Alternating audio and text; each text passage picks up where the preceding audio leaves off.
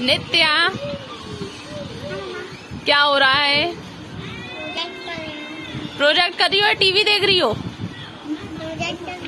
दिखाओ कितना हुआ। थर्टी वन तक अभी पूरा बाकी एक घंटा हो गया अभी तक आपका प्रोजेक्ट कंप्लीट नहीं हुआ। स्कूल से होमवर्क मुझे मिला था या आपको? तुमको मिला था तो प्रोजेक्ट कौन करेगा? मैं करूँ?